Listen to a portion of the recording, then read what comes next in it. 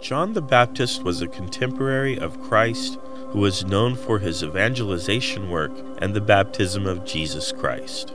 John the Baptist was born through the intercession of God to Zachariah and Elizabeth, who were otherwise too old to bear children. According to scriptures, the angel Gabriel visited Elizabeth and Zachariah to tell them they would have a son and they should name him John. Zachariah lacked faith, and for this he was rendered mute until the time his son was born and named John, in fulfillment of God's will.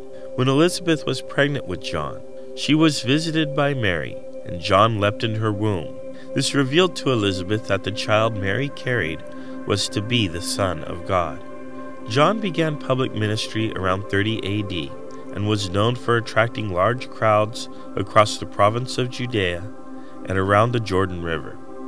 When Jesus came to him to be baptized, John recognized him and said, It is I who need baptism from you. Jesus told John to baptize him anyway, which he did, whereupon the heavens opened, and the Spirit of God was seen like a dove.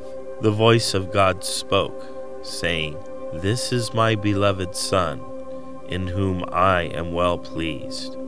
John instructed his followers to turn to Christ, calling him the Lamb of God and these people were among the first Christians. Following his baptism of Jesus, John's popularity grew so much that he alarmed King Herod. Herod ordered him arrested and imprisoned. John spoke with Herod on several occasions and condemned his marriage to his half brother's wife. This condemnation would be his downfall, as King Herod promised to grant a wish to his daughter. In revenge for John the Baptist's condemnation of her mother's scandalous marriage to Herod, she asked for John's head. King Herod reluctantly obliged.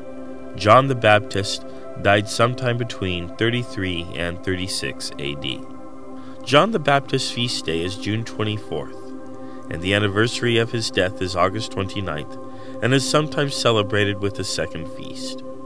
John the Baptist is the patron saint of Jordan, Puerto Rico, French Canada, and many other places.